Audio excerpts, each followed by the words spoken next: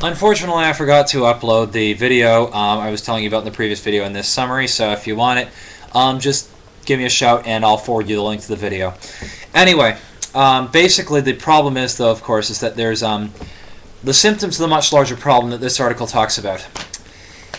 We seem to be facing, amongst our critical thinking contingent, some who are using useless argu- uh, using needless arguments to support their points. Um, one prominent example was talked about in this month's Skeptical Inquirer, where somebody did a review of Richard Dawkins' work when comparing him to Darwin. The two have very similar views on religion, all well and good. However, um, when it came to scientists, apparently Richard Dawkins uh, has been using um, certain critical thinking fallacies, including, um, uh, how shall we say, uh, name slandering. Basically, he um, he basically called one guy who's a prominent theistic scientist and rather competent one, the administrative head of the Human Genome Project, as if his um, competency were somehow hindered by his, well, by his religion. Um, I'll tell more in the next video.